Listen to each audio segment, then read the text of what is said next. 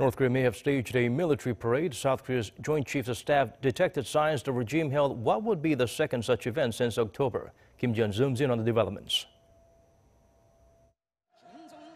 South Korea's Joint Chiefs of Staff said on Monday it has detected signs indicating that North Korea had carried out a military parade in Pyongyang related to the North's 8th Congress of the Workers' Party.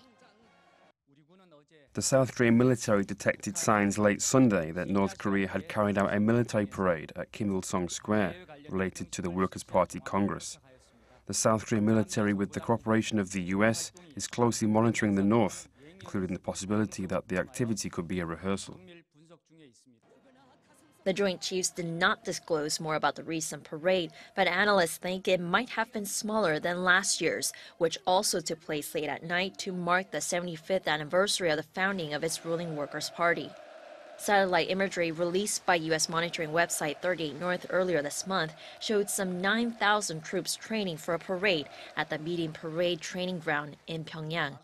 The volume had shrunk by 2,000 since the last time it had been observed in late December.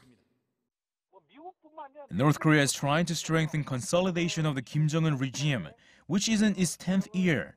If the latest parade shows intercontinental ballistic missiles, it's aimed at sending the U.S. a message that it could reach the U.S. mainland.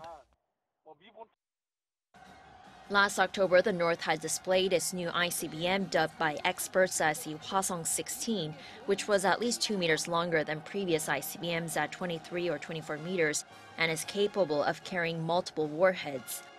North Korea also unveiled four of its new strategic weapons, including its new submarine-launched ballistic missile, the Pukguksong-4, a series of super-large multiple rocket launchers, the North's version of U.S. Army's surface-to-surface missile system ATACMS, and the North's version of Russia's Iskander class ballistic missile. Kim Ji-yeon, Arirang News.